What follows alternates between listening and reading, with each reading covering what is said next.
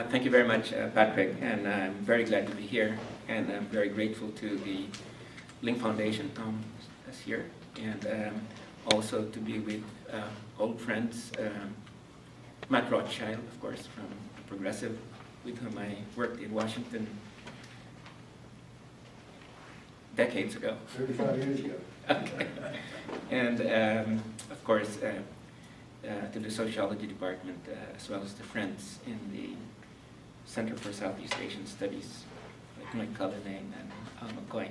I, um, I guess um, today I'll be speaking in the, on this uh, topic of radical reformers, opportunities and constraints for progressive and liberal democracies.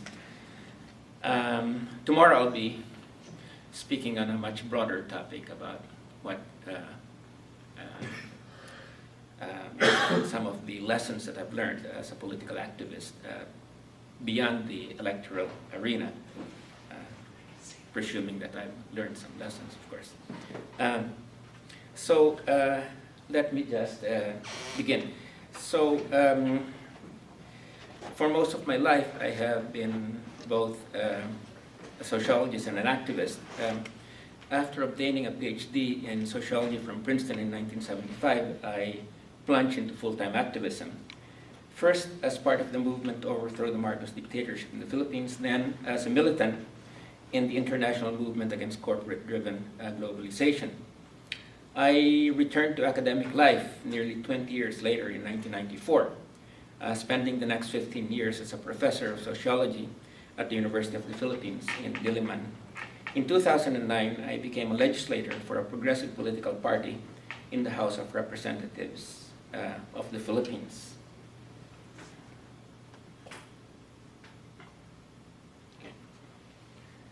Um, the progressive record of the party to which I belong, uh, Akbayan, or Citizens Action Party, was forged during its first decade of existence 1998 to 2009, when it was for the most part in the opposition. In the legislative arena, the party's crusading spirit was expressed in a series of bills its representatives filed in Congress.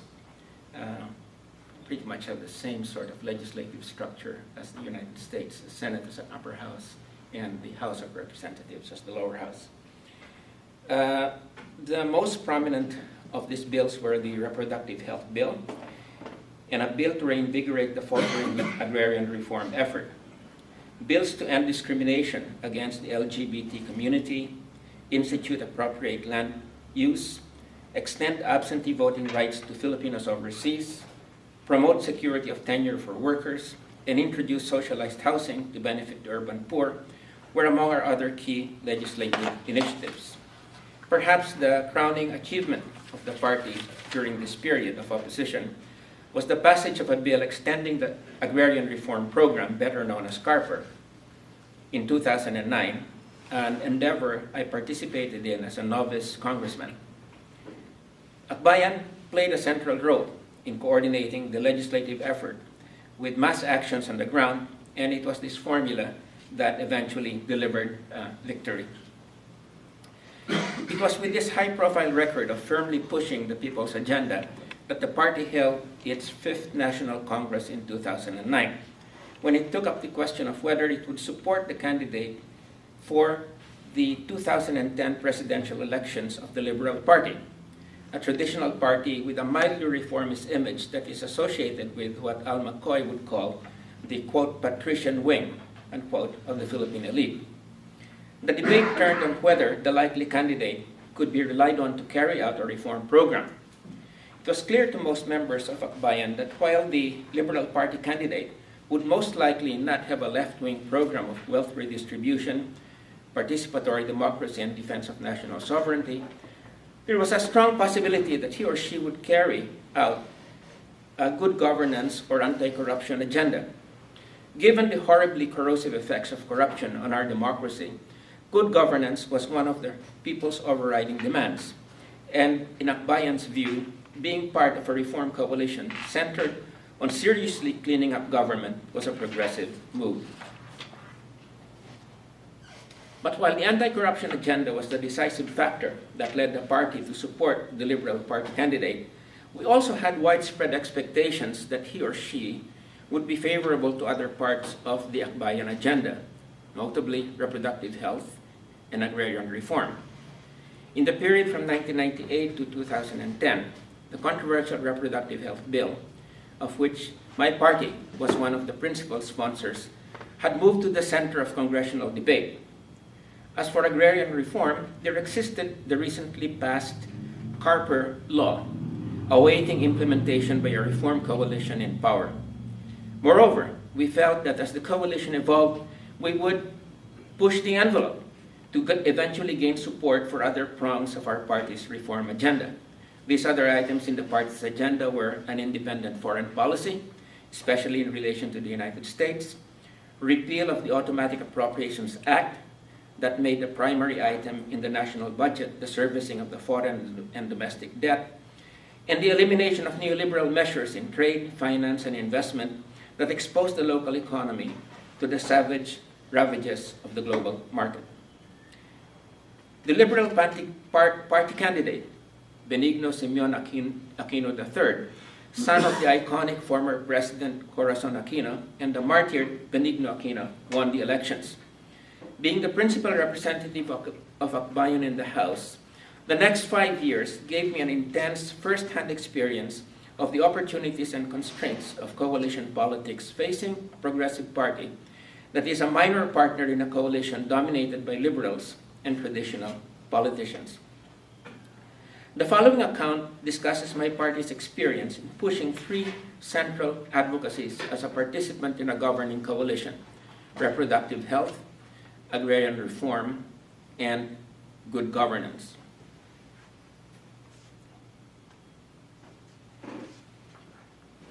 The struggle for a government-supported family planning program to address both the issue of poverty and women's reproductive health has been one of the priorities of the progressive movement since the late 1990s. When the new administration came to power in 2010, uh, the RH bill, or reproductive health bill, of which my party was one of the principal sponsors, had been on the legislative agenda for 12 years. The biggest block had been the powerful Roman Catholic Church. In the years leading up to the decisive battle in the 15th Congress, the pro reproductive health or pro RH forces had managed to circumvent this block in two ways. First, they built a multi class alliance for family planning, reaching out not only to the poor and middle class, but to the elite as well. Undoubtedly, many in the elite swung around to the family planning side out of enlightened self-interest, meaning they saw a reduced birth rate among the lower classes as a way to ease popular pressures for redistribution. However, a not insignificant number, especially from the ranks of upper and middle class women, were won over by the argument that control over childbearing and family size would lead to greater women's control over their lives. The second strategy deployed by the movement to outflank church opposition was to change the discourse. In the beginning of the parliamentary struggle over uh, reproductive health, the pro family planning forces deployed the population control argument, citing the Philippines' unsustainable 2.5% annual population growth. Against this, the bishops deployed the argument that artificial contraception was immoral because the only purpose of sex was to have children. I know this might sound a bit antiquated, but it's it was very life and death issues in the Philippines over the last uh, uh, 20 years. This had, however, limited appeal, so they enlisted another argument, this one from the extreme left, that family planning was a tool promoted by the United States to keep third world populations down. Thus, we had the incongruous spectacle of upper class religious conservatives parading as anti-imperialists on the floor of the House of Representatives. For a couple of years, armed with this bastard ideological formula of anti-imperialism, quote unquote, and anti-contraception, the alliance between the bishops, religious conservatives in the House, and the president blocked any movement on the legislative front, even as the rest of the country moved forward. Several factors broke the political stalemate in the 15th Congress from 2010 to 2013. One was the election of a president who actively supported the bill. But the decisive factor was the women's movement, which in the first decade of the 20th century reframed the issue as one of women's reproductive rights and health. Women had the right to space their children and determine how many children they uh, would have, Women had the right to protect their families' quality of life by limiting their offspring. Women had the right to family planning to preserve their health. It was a winning argument, one that was deployed with skill, not only at the rational level, but symbolically through the strategic dissemination of the image of an all male hierarchy in a predominantly male Congress controlling women's choices. My party had been part of this process of reframing the discourse. And as a central participant in the heated debates during the 15th Congress, we reaped the benefits of a winning discourse. By 2012, some 14 years after the RH bill was first introduced, the hierarchy and its allies in Congress were bereft of viable arguments and forced into pushing two related arguments that came across to the general public as outrageous or silly. One, that condoms and other contraceptives were what they called abortifacients, unquote. And there was no conceptual or real difference between contraception and abortion. That was the second argument. The church's defeat was sealed, though the bishops chose to go down fighting during the congressional debates in 2012 and 2013. It was a spectacular end to a long cultural war, though church linked forces continued to hamstring full implementation of the law. The key lesson that I derive from this struggle is that even on burning cultural issues, progressives can register successes. In the reproductive health battle, we witnessed the success of a strategy of constructing broad alliances across classes and with the end in view of driving a wedge between a conservative ideological institution and the ruling elites and the middle class normally under its sway. Central to this strategy was an attractive human rights or gender rights discourse that promoted a self-image of being quote-unquote enlightened among elite and middle-class supporters of the bill.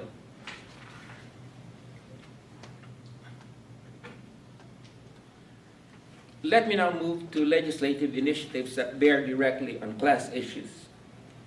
The limits to advocacies that cut deeply into class interests are illustrated by the battle over agrarian reform, one of the priorities of my party. Asia has been the site of four major successes in agrarian reform. China experienced revolutionary land reform during the 1950s and 60s.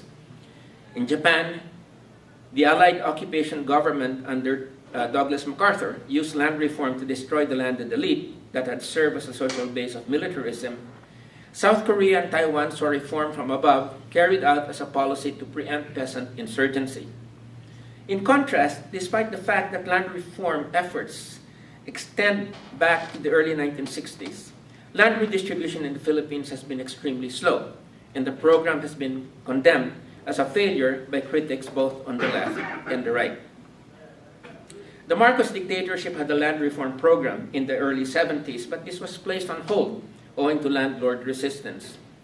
With the overthrow of the regime, a new ambitious effort was launched under the administration of President Corazon Aquino to redistribute some 10.3 million hectares of tenanted land. The period was a time of great ferment and undoubtedly a great impetus to the passage of the Comprehensive Agrarian Reform Program, or CARP, in 1988, was the rural insurgency led by the New People's Army. The law passed, but with many loopholes attached by a landlord-dominated Congress that practically limited land distribution to public land and left much private land untouched for the next two decades. With CARP in the doldrums, progressive and liberal elements in Congress were able to pass a new law extending agrarian reform and providing it with sufficient funds for land acquisition and support services, and plugging many of the loopholes of the 1988 legislation. Two factors contributed to the passage in 2009 of CARPER, the extend, extended land reform road, of which my party was a principal sponsor and which I participated as a novice congressman. One reason, or one factor, was that the sitting president, Gloria Macapagal Arroyo, apparently felt that supporting the bill was a way of getting lower class support to make up for the sharp erosion of her support among the middle class. Second, the movement for agrarian justice came to life, electrified by such event as the now legendary Sumilao Farmers March, which saw a band of peasants advocating agrarian reform undertake a 1,700 kilometer march from the island of Mindanao to the presidential palace, about a thousand miles. Yet, one of the lessons of the agrarian reform campaign is that even if a unique conjuncture of events makes it possible to pass a strong law, absence of political will can prevent reform. In the last five years, when a reform coalition has been in power, this is exactly what happened. Presidential neglect and the lack of courage to confront the landlords on the part of the minister in charge of the reform resulted in over 700 hectares remaining 700,000 hectares remaining undistributed by the end of the land acquisition uh, of the period of land acquisition and distribution on June 30, 2014. Most of these undistributed lands are private lands that constitute the best lands in the country. Pressure from my party forced the president to promise peasant representatives in a meeting in June 2012 that he would meet the deadline for land redistribution. When this had no discernible effect on the pace of reform, I publicly called for the Agrarian Reform Secretary's dismissal. The President ignored this, even as I became increasingly vocal about my opinion that the Secretary was one of the main ob obstacles to his keeping his promise to the peasants. The President's sheltering of this timid, incompetent official, along with his nonchalant attitude towards completing the program, was one of the factors that led to my resignation in March of this year. It should not have been surprising where his nonchalance was coming from because he belonged to the top agrarian landlord family in the countries, the Cojuangcos and Aquinos. So this is where things are at this point. Agrarian reform has ground to halt despite the existence of a powerful law to implement it, having been stymied by landlord resistance presidential neglect, and bureaucratic timidity.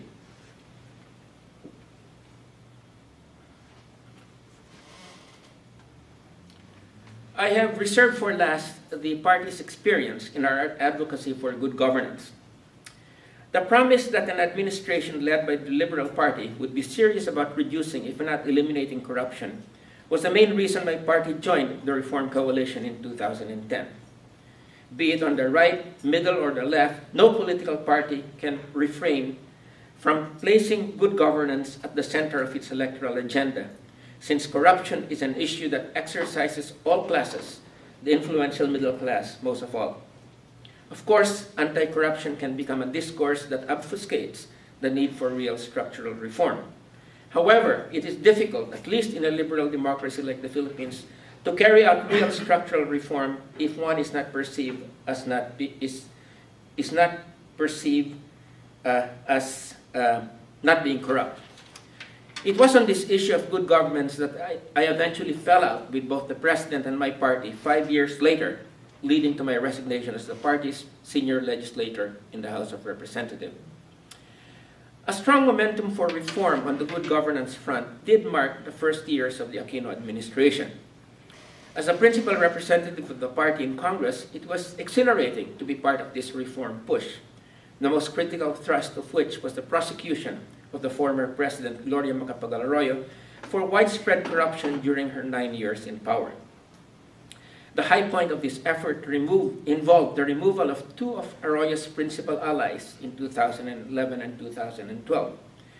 Via resignation under fire in the case of the ombudsman she had appointed and through impeachment and conviction for culpable violation of the Constitution and betrayal of public trust in the case of the Supreme Court justice that she installed in office shortly before her tenure ended. And in the impeachment proceedings, uh, my party took uh, a fairly active role.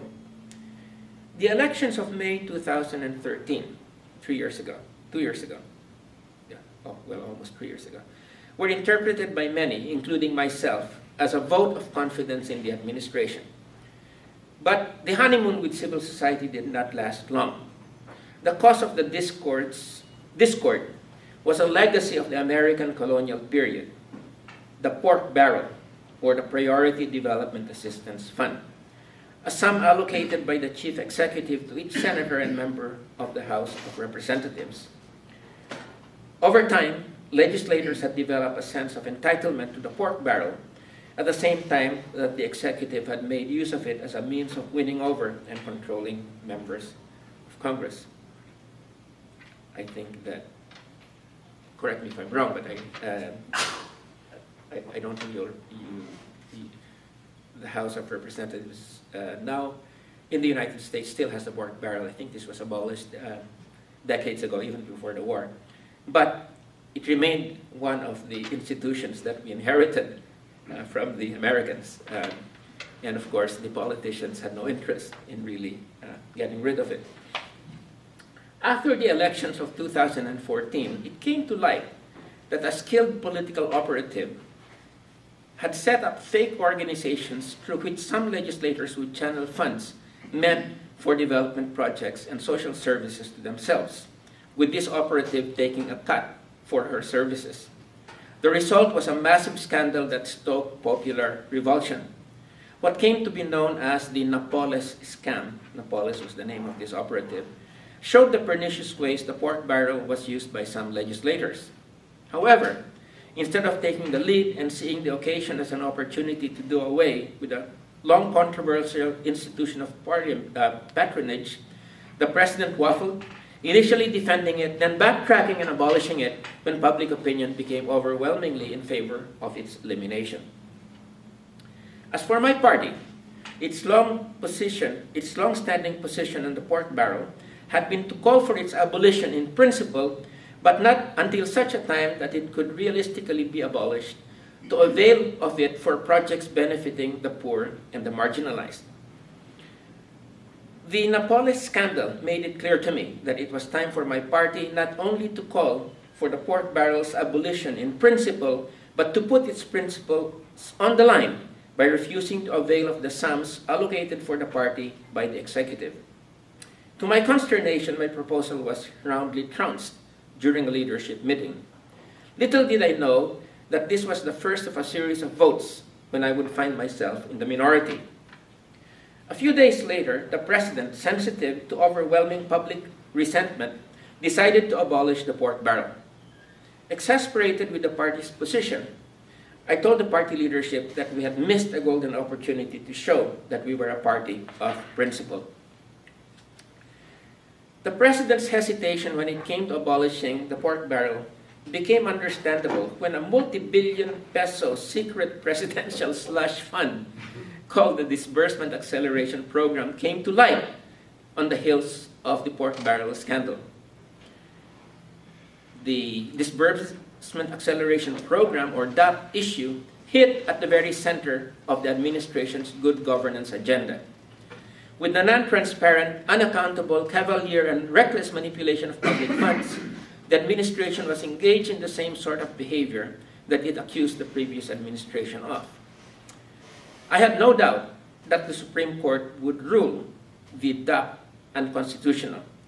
And when it did declare three of the four modes of appropriation and spending as violating the Charter, it was time, I felt, for the President to take decisive action to save his good governance platform. Being perceived as practicing double standards, using the good governance campaign to go after the administration's enemies, while protecting one's corrupt supporters and allies could be fatal to the coalition. During two leadership meetings of the party, I asked that the party demand that the president ask for the resignation of the secretary of the budget, a man named Florencio Abad, who was principally responsible for concocting that. The majority disagreed with me, with some saying that the president was stubborn, and to cross swords with him on the issue would simply make him even more stubborn. I said that this was fatalism not a stance worthy of a progressive party, and that it was the role of progressives to push the envelope for reform in coalition deliberations, even if this meant a steep uphill struggle. Getting nowhere with the party leadership, I decided to write the president directly as a concerned citizen. In that letter, I argued that the president had no choice but to fire the budget secretary since, quote, he committed a severe error of judgment in his liberal deployment and redeployment of funds appropriated for specific purposes by Congress. The congressional power of the purse is one of the key checks on the executive, and Secretary Abad should have had a sense that his fast and loose manipulation of funds with no sense of limits might have involved a violation of the principle of separation of powers. At the very least, his acts is smack of recklessness. I find it hard to believe, the letter continued, quote, that Mr. Abad was unaware of the tremendous power the executive was acquiring over members of the Senate, with the amounts ranging from 30 million to 100 million being given to each senator, in addition to the pork barrel that was still in existence then. This is precisely the kind of presidential patronage subversive of the separation of powers that the Constitution wanted to avert by specifying that the power of the purse belonged to Congress and the use of appropriated funds by the executive was to be strictly controlled by Congress. Unquote. This letter raised the tension within the Akbayan leadership to a higher pitch, with most members sharing the view that I have no right to write the president as an individual, that as, a that as the principal representative of the party in the public eye, my role was to reflect the party line, whatever were my individual views. Subordinating my views to the party position was the price, I was told, of being the party's most high-profile representative. It was an argument that gave me pause, though I must admit I initially resisted its unassailable logic. It was now clear to me that the president would brook no criticism of his subordinates, and that this fraternity-like way of running the country exemplified all that was wrong with political governance in the Philippines. It was also clear that the party leadership would not speak to him on my behalf, perhaps out of fear of angering him further, losing influence with him, or even losing positions the party had obtained in the administration. In increasingly heated discussions, we in the minority reminded the majority that there were times the party had to unambiguously choose its values over its interests, and that firmly standing up for good governance on the DAP issue, the AP issue, was one of those occasions. On January 25, 2015, the administration exper experienced its worst debacle, an anti-terrorist mission in Mindanao that went awry, resulting in the deaths of 44 members of the National Police Special Action Force, along with 18 militants of the separatist Moro Islamic Liberation Front, with which the government had negotiated a historic autonomy agreement that was awaiting congressional approval, the Bangsamoro Basic Law or BBL. The Mamasapano raid, as it came to be called, was an undiluted debacle, a dagger plunge in the heart of the administration's good governance agenda. It exemplified bad governance on three counts. First, the president refused to acknowledge command responsibility for an operation that he ordered that had gone awry, violating a basic tenet of presidential leadership. Second, he illegally placed in command of the operation a crony of his who had been suspended by the ombudsman. And third, he ordered a mission that was a priority of the United States, not the Philippines, and he knew he did this knowing full well that the mishap in the mission, which involved an incursion into the territory of the government's negotiating partner, the MILF, without clearing it with the insurgent group, would endanger the passage of the autonomy law, the Bangsamoro Basic Law. In the name of the administration's good governance agenda, I demanded that the President take full responsibility for the fiasco and reveal all key dimensions of the raid, including the role of the United States. As the administration's crisis of authority mounted, I proposed to the party that we turn the debacle into an opportunity to push the envelope for reform. With the president in a weakened moral position, we should pressure him, I argued, not only to accept responsibility for the tragic rape, which the public was clamoring for, but also to shake up his cabinet by dismissing corrupt, inept, and reckless officials, among them the secretaries of the Budget and Agrarian Reform. This would, I contended, reinvigorate the tattered good governance program. The party leadership refused, again owing to concern that this would be counterproductive since it would do nothing but antagonize the president. More and more, it seemed to me that our disagreement no longer rested on differing assessments of the state of the coalition's program of reform. More and more, I was being driven to my biggest fear that the party's values and principles were becoming hostage to its interests, including the positions that our members occupied at various levels of government. The president's intransigence on the question of owning up to responsibility for the tragedy and his continued sheltering of corrupt and inept cronies led me to the realization that I could no longer support him. That meant I had to resign as the party's representative in the House of Representatives. For even as I was fully convinced that the party leadership was wrong in not backing me in demanding that the president live up to the principles of good governance by ceasing to shelter allies who had brought discredit to the good governance program, I had also come to accept that the leadership was correct in its position that one could no longer be the party's representative in Congress if he or she could not agree with a basic party position, such as its continuing support for the president. No one asked me to personally resign, but the party's code of conduct as a progressive party was clear. I had to go, and this I did on March 19 of this year. Let me then conclude. Throughout this narrative, I have highlighted various lessons I drew from the pursuit of three advocacies reproductive health, agrarian reform, and good governance. The reproductive health struggle illustrated that cultural issues are an arena where the progressive agenda can be advanced through careful alliance building and the control of the discursive battlefield. In the fight for family planning, the pro-RH forces were able to create splits in the upper and middle classes by substituting, in place of the narrative of population control, control the discourse of women's reproductive rights, creating the space for the passage of the law in spite of the fanatical opposition of the powerful Catholic Church hierarchy.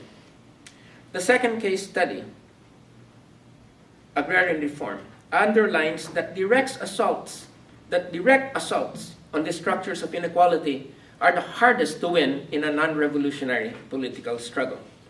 The dynamic interaction of constraints and opportunities in such struggles is illustrated in the long push for agrarian reform in the Philippines.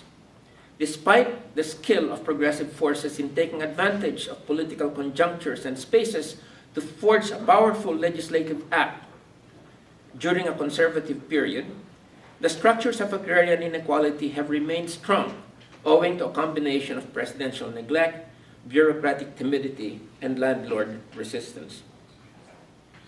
The third case study on struggle on the struggle for good governance has a trove of rich lessons, though it exacted per painful personal and political consequences. One lesson is that a coalition is dynamic, it evolves, and what might have been initially an alliance for reform may turn into something different. A second lesson is that a progressive party must continually assess its membership in such a coalition, weighing its interests against its values. It is but natural for a party to have interests, like positions in the administration or influence within the coalition. But there may come a time when the maintenance of those interests might conflict with the party's fundamental values.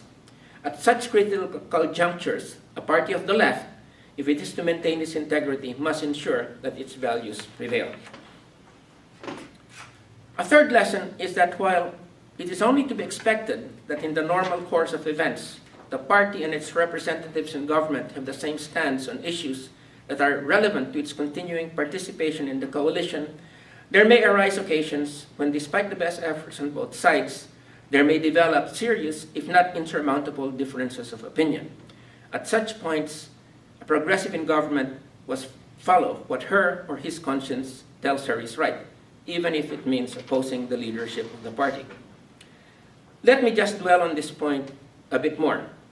Being a progressive has several dimensions. It means having a vision about how society should be organized, based on the values of equality, justice, solidarity, and sovereignty. It means having a political program to realize this vision. But it also means projecting an ethical, moral stance. And perhaps at a time that people have become so cynical about visions and programs because words are cheap and because opportunism and corruption are so rife across the political spectrum, in my view, the distinguishing mark of a true progressive holding public office is his or her, eth- uh, his or her ethical behavior. For me, being a progressive in the corridors of power means, above all, being steadfast in holding on to one's principles and values, even if this entails loss of one's position, if it entails loss of power. The deeper corruption that progressives are often susceptible begins when they sacrifice individual ethical behavior to the so called quote unquote higher interests of party, nation, or class. But can one really be a successful political reformer with such ethical standards? Let me cite one authority on this matter, a public intellectual whose politics are different from mine, but one who did make a serious foray into electoral politics by running for president in his native Peru, the Nobel laureate for literature Mario Vargas Llosa. And I quote, it's a long quote, but it's a good quote. Real politics, not the kind that one reads and writes about. But politics, as lived and practiced day to day, has little to do with ideas, values, and imagination, with teleological visions, the ideal society we would like to create. And to put it bluntly, little to do with generosity, solidarity, and idealism. It consists almost exclusively of maneuvers, intrigues, plots, paranoias, betrayals, a great deal of calculation, no little cynicism, and every variety of con game. Because what really gets the professional politician, whether of the center, the left, or the right, moving, what excites him and keeps him going is power. Attaining it, remaining in it, or returning to it as soon as possible. There are exceptions, of course, but they are just that exceptions. Many politicians begin their careers impelled by altruistic sentiments, changing society, attaining justice, fostering development, bringing morality into public life. But along the way, in the petty, pedestrian practice of day to day politics, these fine objectives become, little by little, mere cliches of the speeches and statements of the public persona they acquire, which in the end makes them all but indistinguishable from each other. What prevails in politicians is finally the gross and sometimes immeasurable appetite for power. Anyone who is not capable of feeling this obsessive, almost physical attraction to power finds it nearly impossible to be a successful politician. Is Vargas Llosa right that even for women and men of the left, an obsession for power is a necessity for success in electoral politics? Is ambivalence with power a massive obstacle to political success? Six years ago, I would have answered Vargas Llosa in the negative.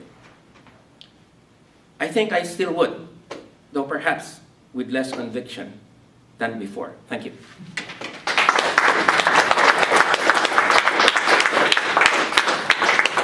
So one of the uh, things you said near the end was that, um, first of all, thank you for a very interesting talk. I, I really appreciate. Would you mind introducing yourself? Oh, okay. My, my name is uh, Ian Barrett. I'm a faculty member here at uh, in geography.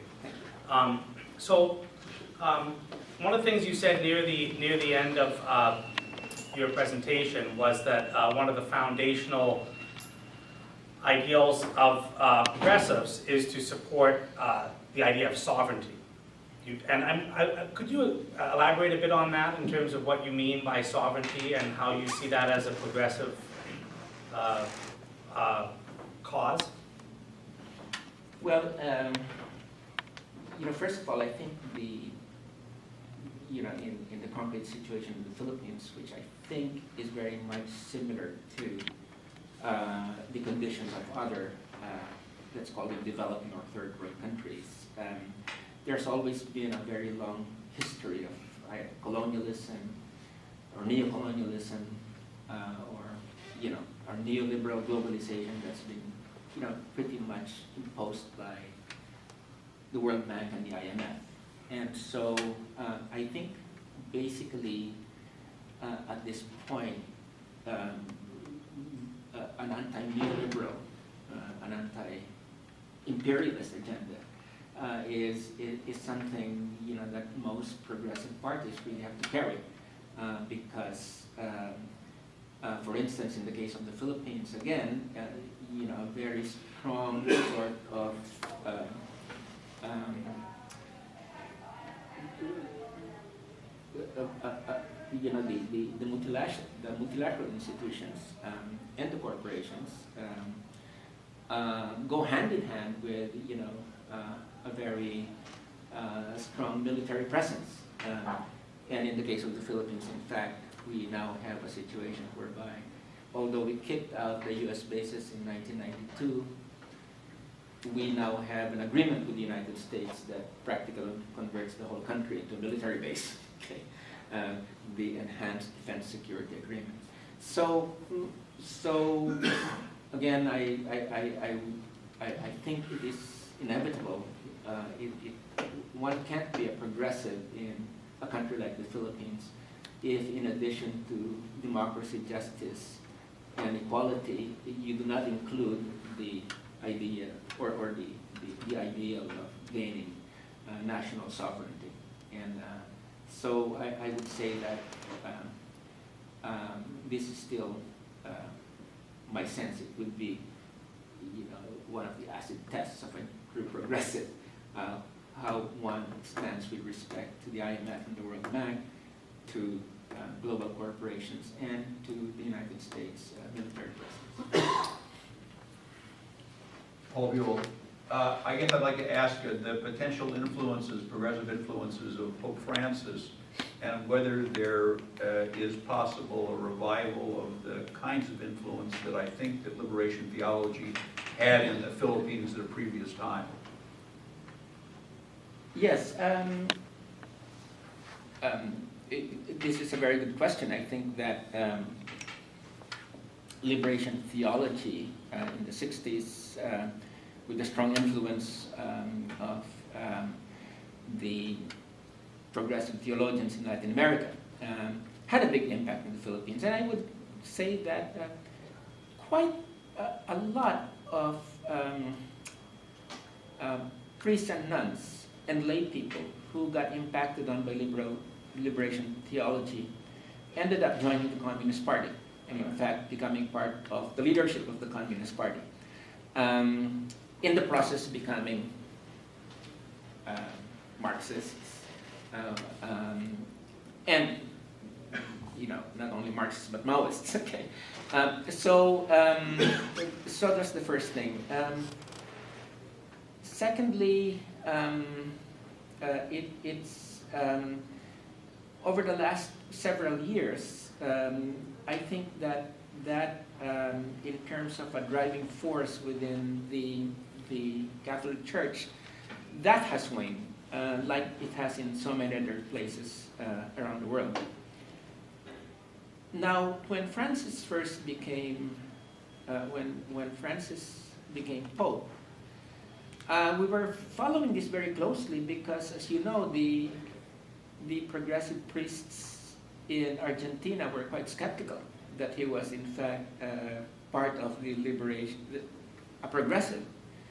And um, there was this huge controversy about what his role was in you know those two Jesuits that were captured by the Argentine junta uh, with a lot of accusation that he had turned them over. so um, so that a number of people in fact approached Francis um, first with a certain degree of skepticism um, now I think um, he, especially after his visit to the Philippines, um, he's become um, on social justice issues and economic justice issues. People think it, it's genuine, but um, when it comes to the issue of um, contraception, women's reproductive health, and um, um, um, the uh, LGBT community uh, and uh, tolerance when it comes to that, I think that there is also a perception that he hasn't really moved, you know, when it comes to, you know, the question of um, uh, homosexuality and uh, the question of, um, of uh, contraception. Uh, so, so the women's movement, especially in the Philippines, and the women's movement is very strong when it comes to the progressive movement. I think they're still of two minds about Francis. Um, but um, overall, I would say, though, that because he has put so much stress on social justice, and in fact, even come up with strong anti-capitalist statements, uh, I think that has, you know, that has the potential of again restarting uh, within the mainstream church in the Philippines, you know, very, uh, uh, uh, uh you know, the, the sort of concerns uh, that that were that found their flowering in liberation theology. Yes, please. Hi, uh, Sociology Department. Um, I'd like to push you more on the, on, on your answer about the connection of uh, progressivism with national sovereignty. It seems to me that uh, on the left in, in, the First World and in the Global South, there's a, arisen this sort of notion that, um, that signing a mutually binding treaty far from being what was originally thought of as an exercise of national sovereignty. This is the kind of thing that sovereign nations do as automatically an infringement of national sovereignty. Right? And in, in the United States, the discourse is one where you see very often the right and the left uniting when you talk about, uh, about international agreements that might actually bind the United States. Right? And um, in among progressives here, there seems to be some general sort of differentiation, like uh, mutually binding economic agreements are somehow always bad, whereas mutually binding agreements uh, about strictly military policy may not be so bad. So, you know, it's good for the United States to be restrained from going to war by itself, but it's not somehow good for the United States to be restrained from engaging in potentially horrifically destructive economic policies, like, for example, the agricultural subsidies, or any of the number of things that, of course, you're extremely familiar with. So it seems to me that, that, uh, that there needs to be, to be more done to, to, to separate this. It, it is true that there are some treaties which were designed so that, uh, that, that various countries are you know, sort of signing on to a set of principles that are anti-human or against basic human needs even those like the WTO, as you yourself have pointed out, still do provide different nations, even nations without power, with institutionalized means of some sort of equal access. So I'd like you to, to tell me, for example, what you think about what's the role of a progressive in the global south about in terms of supporting or opposing mutually binding uh, international agreements on carbon emissions that it would include actual limits on countries in the global south as well as in the Well, north? you know, you know, let's, you know, when it comes to, I mean, if you're asking for my personal position on this, I, you know, I think that there are some, um, you know, there are some treaties that are so urgent at this point uh, you know, and, and a treaty on climate change is definitely one of them uh, that would um, uh, impose very strong restrictions uh, not only on the Annex 1 countries, uh, but on the BRICS countries, for instance, China, India, um, Brazil, uh, you know, that have gone up there in terms of the, um, you know, in terms of being very strong and powerful emitters of, of carbon emitters. And uh, I think clearly when it comes to um, to, um, what, what, when it comes to to to a climate treaty, I would say that I would not be among those that would basically, that would say that, let's forget all about the intergovernmental process because it's so screwed up. Uh, and we're not going to, and let's just rely on civil society. I, I think that's a cop out. And unfortunately, uh, that's, that's, that's what's happening among many at this point as we go on to Paris. So, uh, uh, you know, I, I, I, I definitely would say that, you know, there are certain uh, treaties, you know, and, you know, that uh, need to be really negotiated.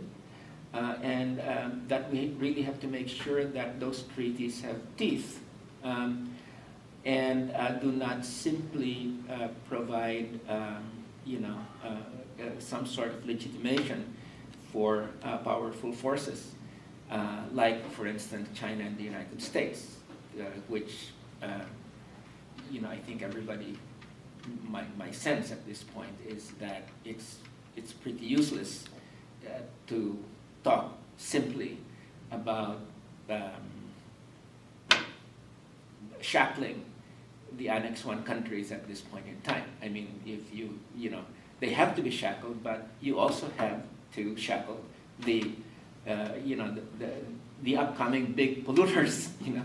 And, and, and unfortunately, of course, uh, among um, certain organizations, I will not mention names, that come from uh, the so-called North-South uh, uh, polarization that um, existed back in the 1980s, even up to the 1990s. Um, you know, what China does, for instance, or what India does, um, shouldn't worry too much about it. The important thing is to get the United States uh, and to get the European countries uh, to be the targets of uh, any binding treaty. So that, that I think, I, I, I would certainly disagree with that. Would you mind, we're curious what organization referring to. I would prefer to tell it to you in private. I, I just don't want to exacerbate certain, Sure. certain disagreements that we've had with certain uh, organizations that I don't think are fulfilling a good international political role at this point in time. But wouldn't you say that the decline on the left of any discourse in support of internationalism has now made it more difficult to push for the kinds of results that you, that you want? Well, I, I, um,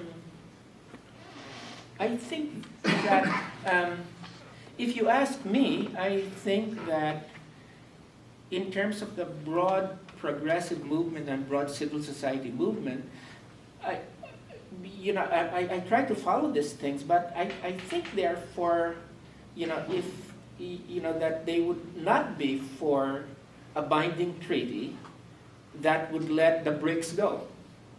Uh, now, it, when it comes to the traditional left, that from the 1980s and 1990s, um, or the left that was the developmentalist left that basically said, um, you know, developing countries can do no wrong, even if they're massively emitting uh, uh, pollutants.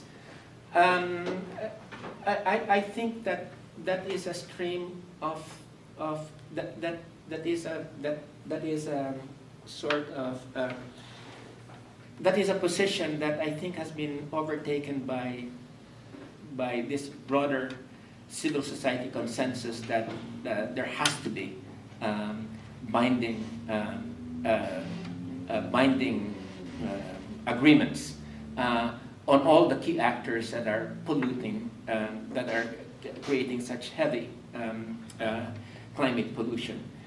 Um, that's my sense. I think when I talk about the when I talk about the um, the disillusionment, it's disillusionment with the na- with national governments as a whole, with the state participants in the negotiations that they haven't come to any agreement. It's more of that. It's more of that. You know, the states can't do it.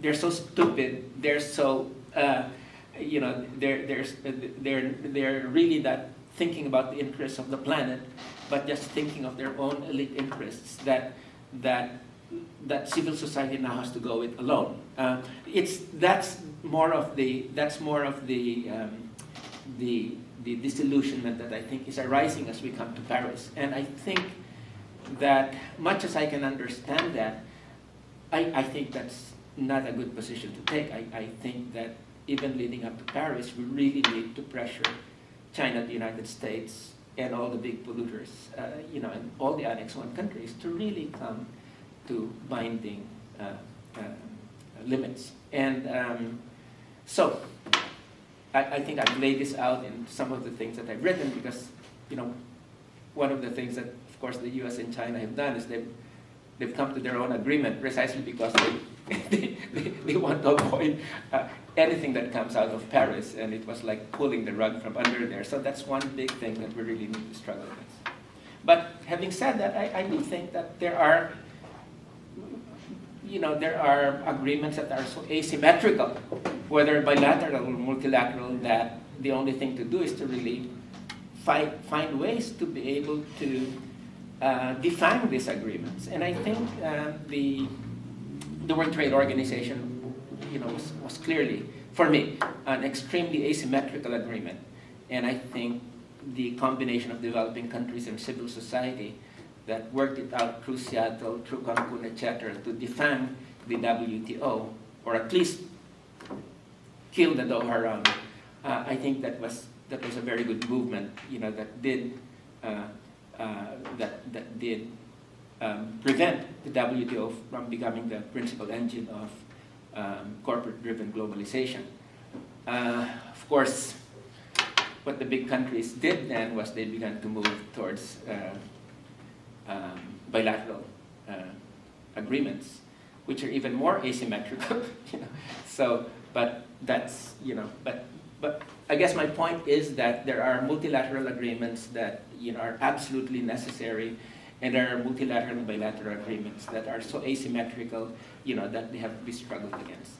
And what I was talking about when, when it came to the Philippines uh, was um, um, the recent enhanced defense cooperation agreement, as the United States now is, as, as, as President Obama has been trying to do, is to try to get the U.S. from this, um, the way that it's been uh, bogged down in the Middle East, and to a more, an area of more um, conventional kind of deployments where it thinks that it has, you know, which it is more uh, adapted to, which is the containment of China.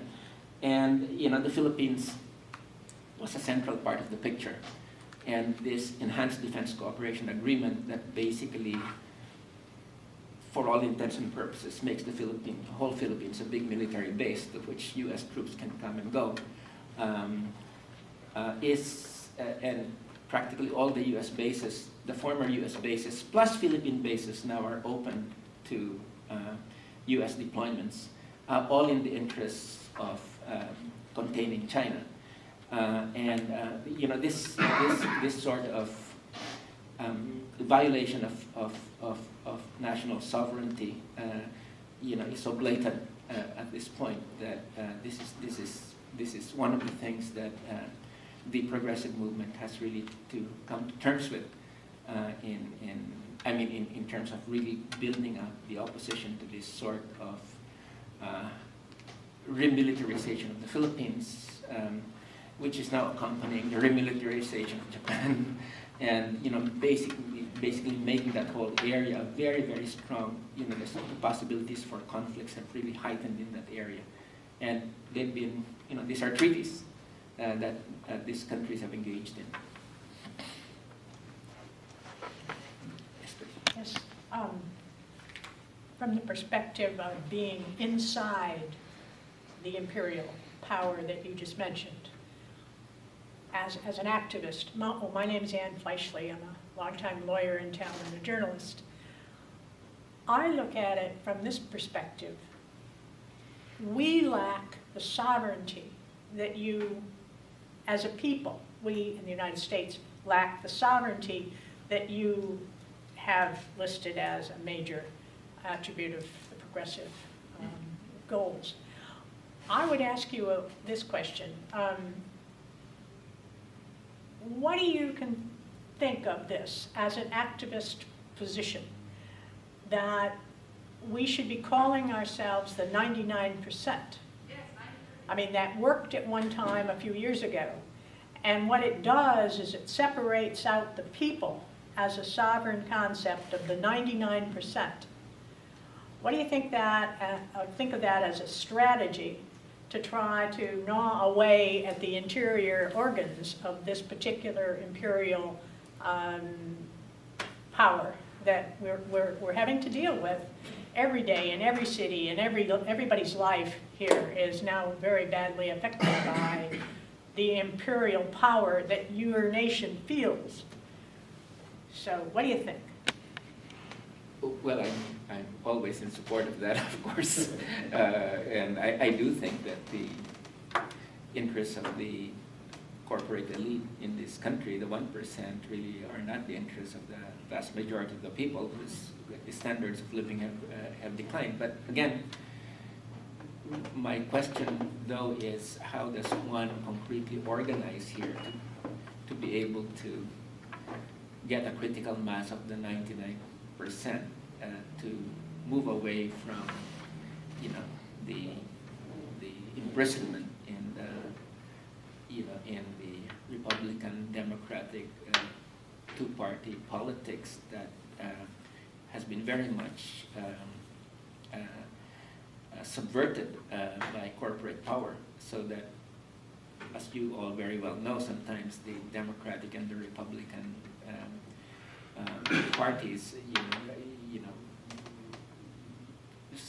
oftentimes have, you know, are both very much susceptible to interest from Wall Street. And I mean, as, as you all know, you know, um, Bill Clinton was, he, you know, a lot of the neoliberal measures Uh, came under the Clinton administration. and I think Wall Street has been very much connected via Rubin and company to Wall Street. And so, what is my, if you, to, if you were to ask me what is the, what do I support as a strategy here, I think maybe an initial step is to support Bernie Sanders. Hmm. Certainly, Sanders has excited the political imagination of progressives in the Philippines. And uh, much as we, you know, we, uh, we of course know the, the difficulties of getting him elected, uh, uh, nevertheless, I think that he enjoys a great deal of support from uh, the progressive movement in the country. I mean, they're just getting to know him at this point in time. Yes, thank you. Yes, please. So, so I have two questions. One's really straightforward and the other's not. Um, but the first question, I actually don't know anything about the American system. I mean, the, the term pork barrel in the U.S. in my lifetime has been used a little bit differently. So could you say a little bit about what that program was in the U.S. I, I, or in the Philippines? I no, I just have no idea. Well, okay, in the Philippines, it's, um, it's, um, you know, the president, you know, has the, used to have the right to allocate, you know, a certain amount uh, to members of Congress. Um, To be spent in the district? No, it was uh, uh, to be spent according to the way they wanted it spent. You know, uh, basically, with hardly any controls. You know, like for the Philippine House of Representatives, it was 70 million uh, pesos a year. Okay, and uh, for senators, it was 200 uh, million. 70 million uh, pesos is uh, almost uh, $2 million, right? And that was basically unregulated, practically unregulated. Of course, there were all sorts of formal measures that it had to, you know, it had to, uh, it had to follow certain restrictions, et cetera, et cetera. But pretty much members of Congress were able to move around those things.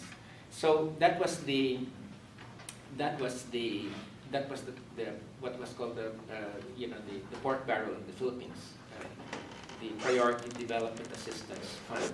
Uh, And um, it had come under severe criticism from political reformers for so many years, you know, that it, it was a tool of presidential politics that basically um, um, giving you or withholding your pork barrel, especially under the previous administration, became a means by which uh, members of Congress, senators and congressmen were basically used to push the agenda uh, of the administration. Now, now, from what I can gather is that that came to us through the U.S.